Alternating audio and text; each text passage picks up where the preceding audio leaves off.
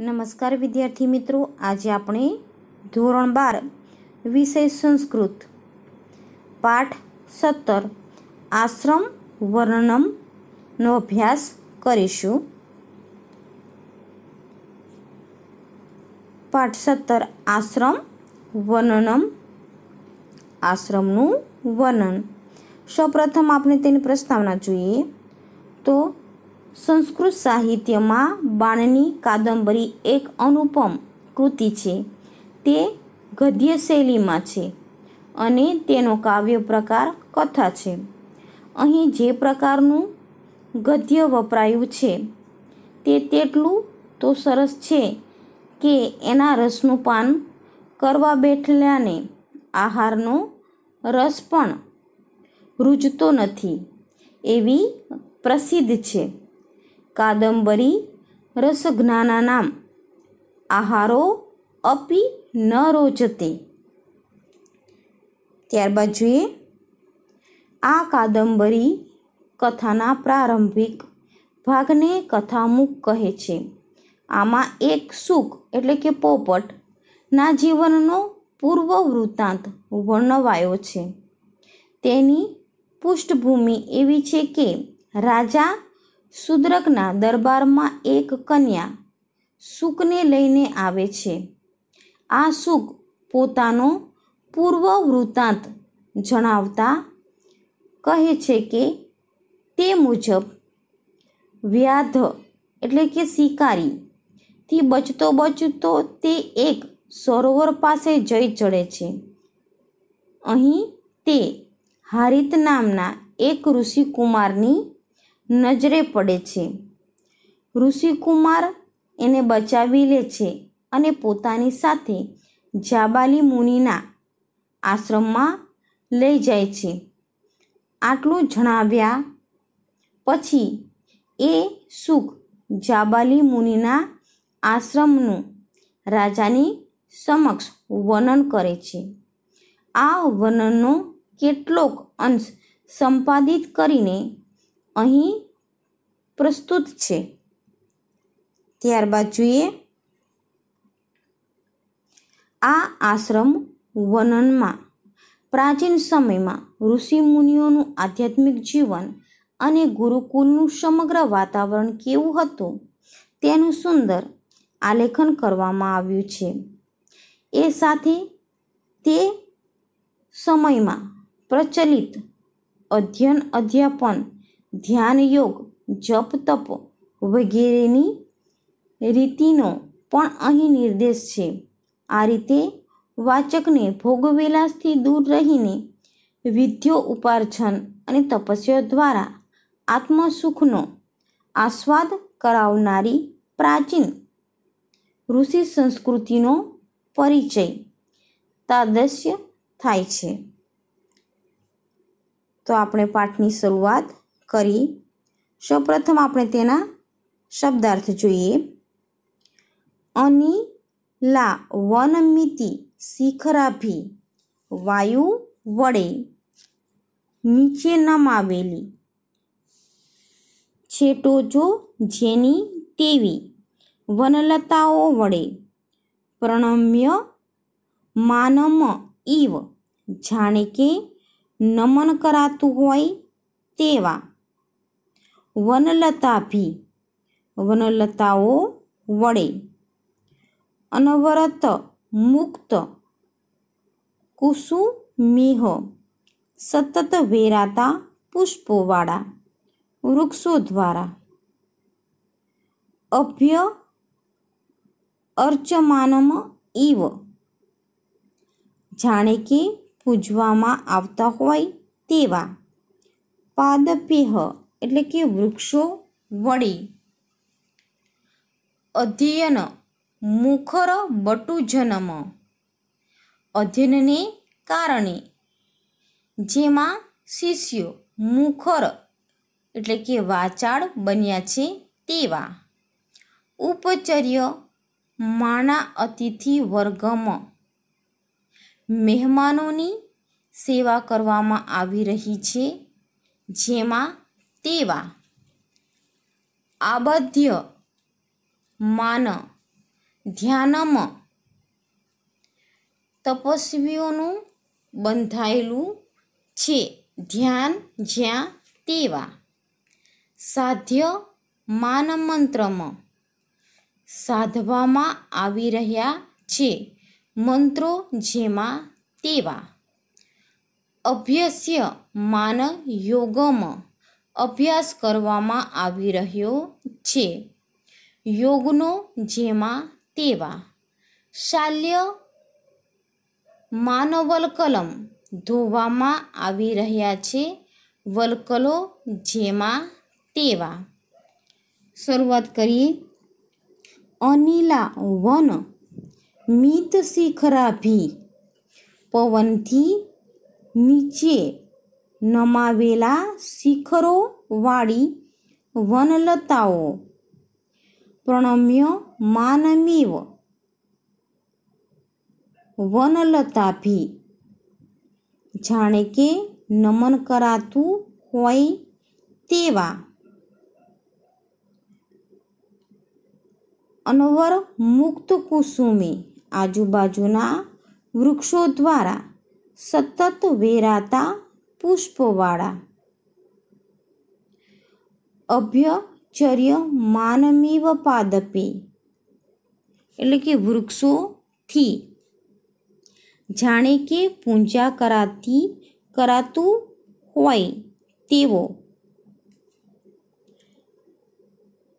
અભ્યચર્ય માનમીવ પાદપે.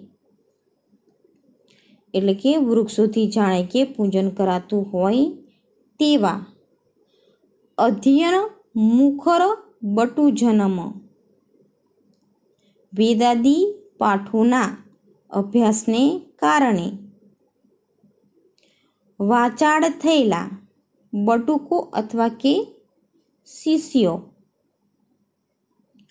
ઉપચર્ય માણા અતિથિ વર્ગમ કે જ્યાં અતિથિઓનો સત્કાર કરવામાં આવી રહ્યો છે તેવા આબધ્ય માન ધ્યાનમ કે જેમાં તપસ્વીઓનું ધ્યાન ઈશ્વરમાં બંધાયેલું છે તેવો સાધ્ય માન મંત્રમાં, જ્યાં મંત્રોની સાધના કરવામાં આવી રહી છે તેવો અભ્યસ્ય માન.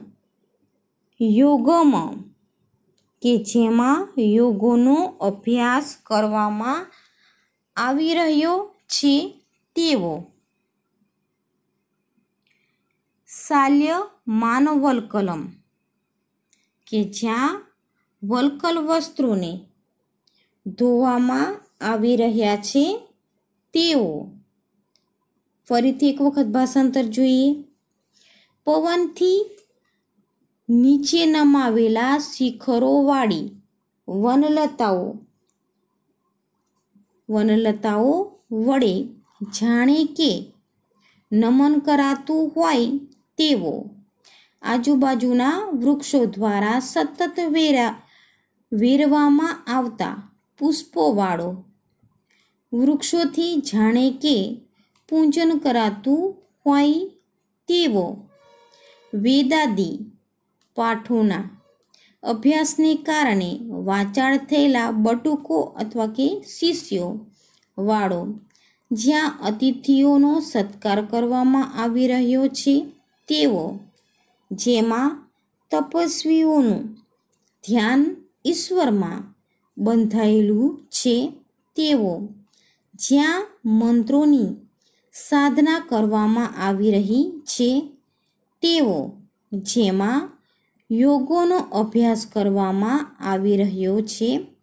તેઓ જ્યાં વલ્કલ વસ્ત્રોને ધોવામાં આવી રહ્યા છે.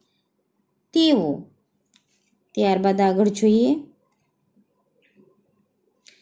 તેના શબ્દો જોઈએ. ઉપ સંગગૃહ માણ સમી ધમ સંગ્રહ કરવામાં આવી રહ્યો છે. સમિધાઓનો જેમાં તેવા ગ્રંથમાના અક્ષમાલામાં ગૂંથવામાં આવી રહી છે. અક્ષમાળાઓ એટલે કે જપમાળાઓ જેમાં તેવા અદૃષ્ટપૂર્વમ પહેલાં કદી જોયો નથી તેવા. એટલે કે અપૂર્વ. કલિકાલસ્ય. એટલે કળિયુગની દૃષ્ટિ પડી ન હોય તેવા. અપરિચિતમ. અસત્ય સાથેનો પરિચય ન થયો હોય તેવા. અનૃત્યસ્ય અતિરમણીય. અતિ રમણીય અથવા કે અતિ સુંદર અપરમીવ એટલે કે બીજા. બ્રહ્મલોકમ એટલે કે બ્રહ્મલોકને. આશ્રમમમ, આશ્રમને. અહમ, હું. શુકહ પોપટે. અપશ્યમ એટલે જોયો અથવા કે દેખ્યો. હવે તેનું ભાષાંતર જોઈએ. જેમાં સમિધાઓનો એટલે કે યજ્ઞ માટેના કાષ્ટનો, એટલે કે લાકડાઓનો સંગ્રહ કરવામાં આવ્યો હોય છે તેવો. જ્યાં રુદ્રાક્ષની માળાઓ ગૂંથવામાં આવી રહી છે તેવો. તેવા તે આશ્રમ પર પહેલાં ક્યારેય કળિયુગની દ્રષ્ટિ પડી નહોતી. અત્યંત અસહ્ય. અસત્ય સાથે અસત્ય સાથે. તેનો પરિચય ન હતો. અત્યંત રમણીય અથવા કે અતિ સુંદર બીજા બ્રહ્મલોક સમાન. જેવો એક આશ્રમ મેં પોપટે જોયો. ફરીથી ભાષાંતર જોઈએ. જેમાં સમિધાઓનો, એટલે કે યજ્ઞ માટેના લાકડાઓનો સંગ્રહ કરવામાં આવ્યો છે તેવો.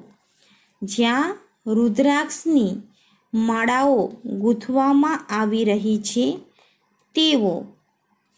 તેવા તે આશ્રમ પર પહેલાં ક્યારેય કળિયુગની દ્રષ્ટિ પડી નહોતી અસત્ય સાથે તેનો પરિચય ન હતો અત્યંત રમણીય બીજા બ્રહ્મલોક સમાન એક એવ- જેવો એક આશ્રમ મેં પોપટે જોયો. ત્યારબાદ જોઈએ. તેના શબ્દો જોઈએ. મલિનતા મલિનતા અથવા કે કાળાશ. હવિ ધુમેશુ, હોમ દ્રવ્યના ધુમાડામાં. ચરિતેશુ, માનસના આચરણમાં નહીં. મુખરાગ મોઢા ઉપરની લાલાશ. સુકેશુ પોપોટોમાં ન કોપેશું ક્રોધમાં નહીં. તીક્ષ્ણતા ધારદાર પણ કુશાગ્રેશુ દર્ભના અગ્રભાગમાં અથવા કે ટોચમાં કદલી દલેસું કેળાના પાનમાં મનઃ શું? મનમાં ચક્ષુરાગ આંખોની લાલીમાં પરલ પર કલત્રેશુ. પારકી સ્ત્રીઓમાં મેખલા બંધ મેખલાઓનું બાંધવું. ઈર્ષા કલહેશુ. ઈર્ષાને કારણે થયેલા ઝઘડામાં કૃકવા કૃષુ કુકડાઓમાં વિદ્યા વિવાદેશુ. વિદ્યાને લગતા વિવાદોમાં. અનલ પ્રદિક્ષણાશુ. અગ્નિની પ્રદિક્ષણા અથવા કે ફેરામાં. તેનું ભાષાંતર જોઈએ. યત્ર ચ મલિનતા હવિ ધૂમેશુ. ન ચરિતેશુ. અહીં તે આશ્રમ પર મલિનતા એટલે કે કાળાશ અથવા કે દોષ એકમાત્ર યજ્ઞકુંડમાંથી નીકળતા હોમ દ્રવ્યના ધુમાડાને લીધે દેખાતી હતી. ન ચરિતેશુ એટલે કે મનુષ્યોના ચરિત્રમાં નહીં. મુખરાગ સુકેશું, ન કોપેશું. મુખ પરની લાલાશ કે લાલીમાં, પોપટોમાં હતી. ન કોપેશું એટલે કે ક્રોધમાં નહીં. તીક્ષ્ણતા કુસાગ્રેશું, ન સ્વભાવેશું. ક્રોધથી કોઈનું મુખ લાલ થતું નહોતું. તીક્ષ્ણતા કુશાગ્રેશુ ન સ્વભાવેશુ એટલે કે ધારદારપણું તીક્ષ્ણતા. દર્ભ એટલે કે ઘાસના અગ્રભાગમાં રહેતી હતી. ન સ્વભાવેશુ એટલે કે મનુષ્યોના સ્વભાવમાં નહીં. ચંચલતા કદલી દલેશુ ચંચળતા માત્ર કેળના પાંદડાઓમાં જોવા મળતી હતી. ન મનસુ કોઈના અથવા મુનિજનોના મનમાં નહીં. ચક્ષુરાગ કોકિલેશુ નેત્રરાગ અર્થાત કે આંખોની લાલી કે કટાક્ષ ફક્ત કોયલોમાં હતી. ન પર કલત્રેસુ. પર સ્ત્રીઓમાં કોઈ કુદૃષ્ટિ રહેતી નહીં. મેખલા બંધો. વ્રતેશુ ન ઈર્ષા કલહેશુ મેખલા એટલે કે કટી સૂત્રનું બંધન. ફક્ત વ્રતમાં, વ્રતના લીધે હતું. ઈર્ષા કે દ્વેષના લીધે થતા કલહોથી નહીં. પક્ષપાત. કૃકુ વા કૃષુ ન વિદ્યા વિવાદેશુ. પક્ષપાત. એટલે કે પીછાનું ખરવું અથવા કે તરફેણ કુકડાઓમાં થતો હતો. વિદ્યાને લગતા વિવાદોમાં નહીં. ત્યારબાદ આગળ જોઈએ.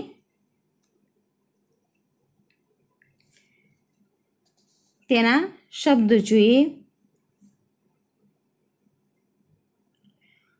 અનલ પ્રદક્ષિણા શું? એટલે અગ્નિની પ્રદક્ષિણા અથવા કે ફેરામાં. વસુંગ કીર્તનમ.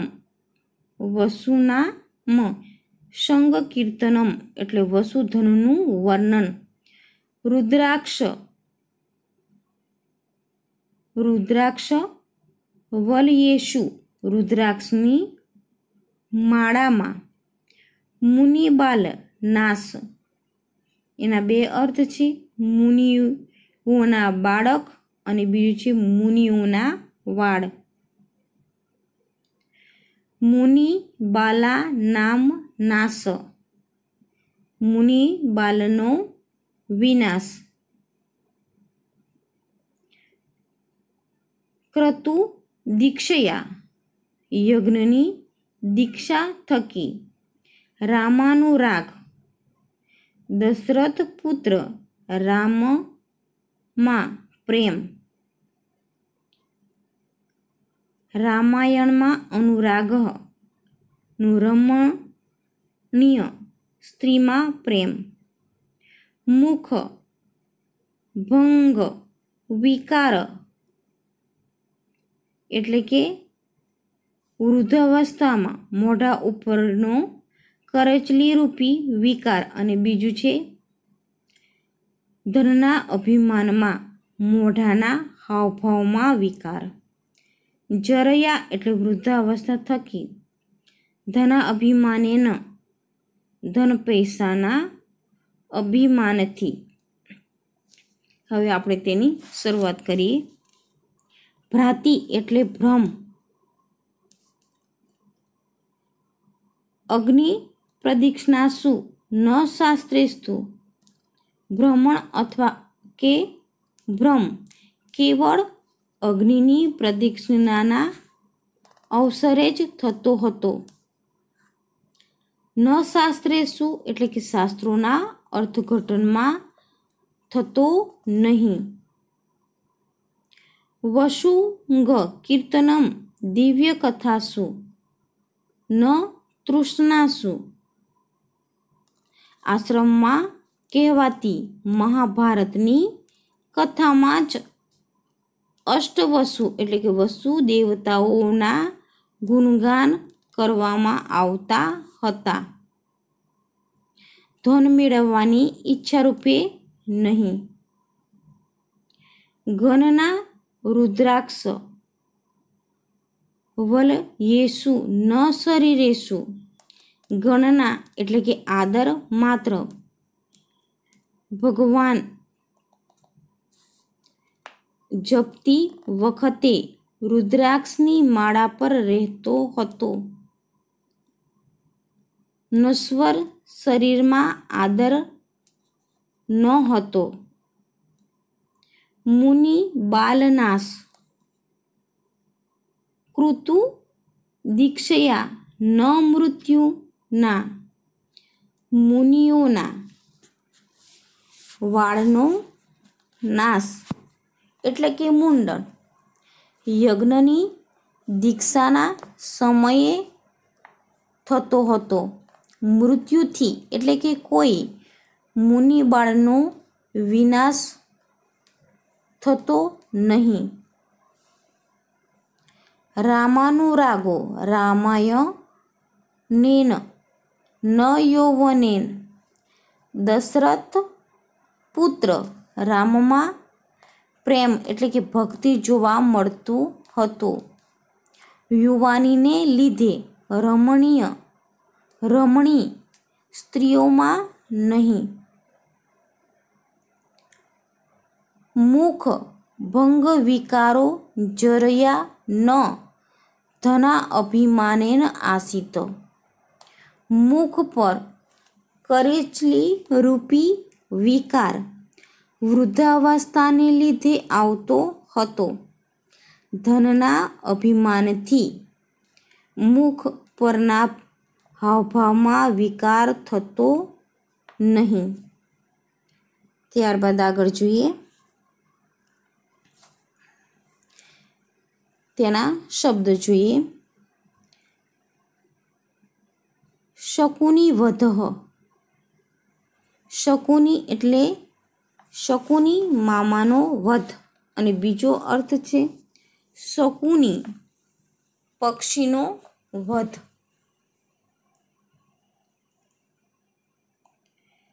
પુરાણે વાયુ પ્રલપિતમ. એટલે કે વાયુ દેવતા દ્વારા કહેલું.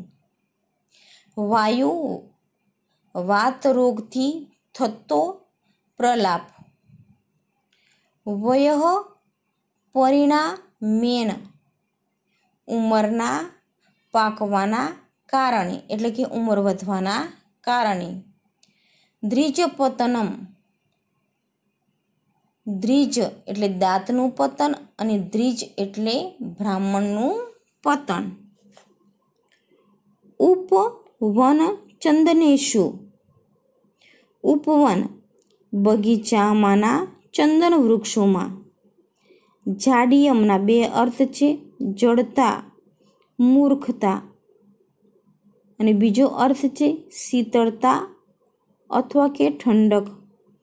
ભૂમિ તત્વમાં ભૂમિ ઐશ્વર્યપણું વૈભવપણું અને બીજો છે ભૂતિ, એટલે કે રાખપણું એણકા નામ, મૃગલાઓનું ગીત શ્રવણ્ય વ્યસનમ. ગીત સાંભળવાની ટેવ. શિખંડીના નામ, એટલે કે મોરોના. નૃત્ય પક્ષપાત. નાચવાના સમયે. પીછાઓના પાત એટલે કે પતન. અને બીજું છે, મૃત્યુની બાબતમાં પક્ષપાત. ભુજંગ મનામ સાપોનો ભોગ ફેણ. ને બીજું છે, વિષયોનો ઉપભોગ. કપી નામ એટલે કે વાંદરાઓનો શ્રીફલા અભિલાષ શ્રીફળ એટલે કે બિલ્વ ફળોમાં ઈચ્છા અને બીજું છે શ્રીફળ એટલે લક્ષ્મી ને લીધે પ્રાપ્ત થતા સુખ સાધનો. ની બાબતમાં ઈચ્છા, અધોગતિ એટલે કે નીચે તરફ થતી ગતિ, અધપતન. બીજો અર્થ છે એનો અધપતન. અહીં જોઈએ આપણે યત્ર ચ કે જ્યાં મહાભારતે, મહાભારતમાં શકુની વધ, અહીં શકુની વધ એટલે કે દુર્યોધનના મામાનો ફક્ત મહાભારતમાં સાંભળવામાં આવતો હતો.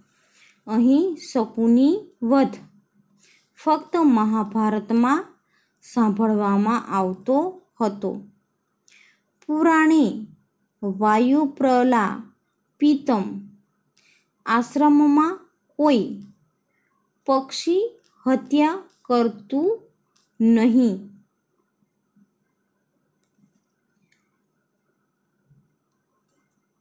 વય પરિણામેન